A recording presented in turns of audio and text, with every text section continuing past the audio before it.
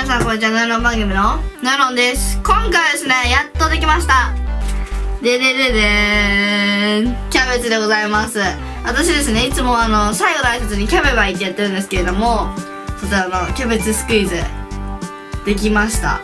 これね、動画の参考は。ジェイさんを参考させていただいたんですけれども、めっちゃわかりやすいし、でもね、今回ちょっとアジェンさんと変わったことしました。でね、これ、ノイの一人で作ったんじゃないんですよ。パピコにも手伝ってもらいました。だからちょっと、クオリティ高い。わかるこのグラデーション感。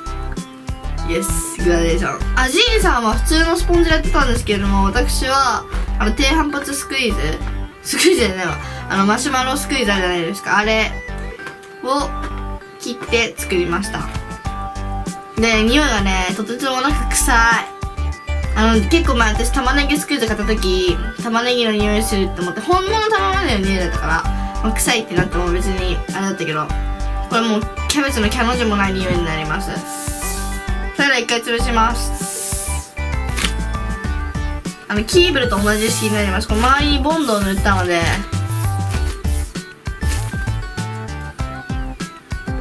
こんな感じです、まあ、これ臭いのには理由がありましてこれ塗った色がちょっと違うんです。今からやることを見てればわかると思う。ライト。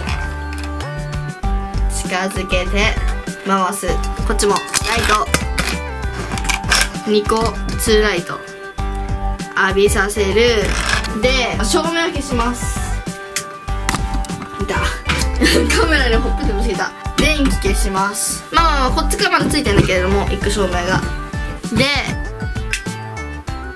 わお。いや一瞬もし英語の先生みたいになっちゃったけどいや本当にワオだから見てていくよ。おー I see やばくない？光るスクイーズですよ。いやこれね本当に見ると分かると思うんだけど本当にキャベツが透けてるみたいなの分かるかな？分かるね。結構分かる。キャベツ透けてるでしょこれ。やばくない？こことかほら。やばい。メカメハーこれでもうキャベバイ。キャベバイしませんけど。ビデオに映る瞬間が私好きなんですよ。この明るい時から暗くなってふわーんってこう明かりがつくのが好き。これわかる？わかった？おいや効果も入れるよ。キラキラキラキランわかる？もういくよ。キラキラキラキランってね。ね。あこっちか下側が全然光ってないんで下側浴びます。いきます。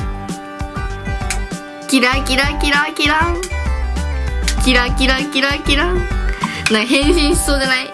キャベツみたいな。はい電気つけます。キラキラキラキラはい。キャベツで知ってる？まあまあまあまあまあまあキャベツスクイズでした。私アマゾン見つけちゃったんです。キャベツバッグを。クイズだと思ったでしょバッグあのね見て見てでれれれここちゃんと書いてあるからキャベツバッグって。結構でかいんですよ。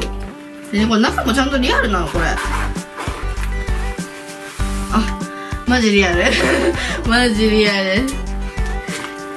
ほら中もちゃんとなってんですキャベツに。これでこれから私は遊ぶ時にこれに入れてこう。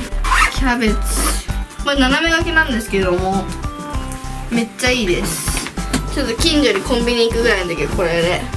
めっちゃよくねキャベツぶら下げていってんだよ。めっちゃいいこれ。でこれ思ったんですけれどもこれもしこれが失敗してたとしたらこの失敗したやつをこれにこう入れて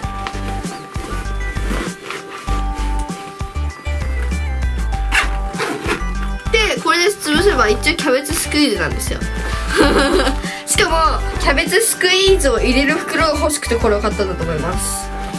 うん。分かんないけど買ってみました。でこれちなみに中がすごいんですけどこれ変なの塗ってあってあのキャベツがわさってなるように塗ってあるんですよ。中キャベツになります。いいね。あこの今日のお洋服に合うわ。原宿次これでいくね。があるんですよスクイーズ。なんかみんながキャベツだから買いなキャベツスクイーズあったよって言ってみんながやってるのこれ。白菜スクイーズ。白菜とキャベツ1個間違えられるんですけどもクオリティどっちの方が高いですかね。多分こっちですよねこのこの割れ目感ね。キャベツ丸いですからね。これポイント後ろなんですけれどもこうなってます。C になってますちゃんとキャッチボールできそうこれで。参考にさせていただいたアジルさんの動画下のリンクに貼ってあるのでぜひ皆さんそれ見てね作ってみてください。ノイロンの今回作ったのよりもちっちゃくて手のひらサイズで可愛いサイズを作ってました。可愛いです。それでは